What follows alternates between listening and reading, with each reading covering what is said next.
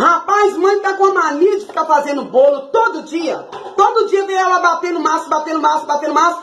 Ontem ela fez um bolo, eu só vi o cheiro do bolo, não comi. Ela tem uma mania de ficar guardando o bolo debaixo do travesseiro, guarda biscoito debaixo do travesseiro, vai no supermercado, tudo que compra é banana, é laranja, é goiaba, guarda debaixo do travesseiro. Falei ela para ela parar com essa mania. Falei, mãe, para de ficar guardando comida debaixo do travesseiro. Aí fica reclamando que tá dando formiga.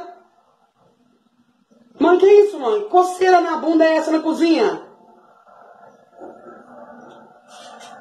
Tá negociando o que com essa calcinha coçando o fiofó? O bumbum é meu. Cadê o bolo que a senhora fez ontem que eu não vi no meu bumbum é cheiro? meu. Não tô mandando ninguém coçar. O bumbum é meu. Bom, na hora que eu quiser. É na sala, na cozinha. Cadê o bolo que a senhora fez que eu não vi o cheiro? Acabou porque a pão do garçom, quando visita na casa da gente, come mais do que o dono.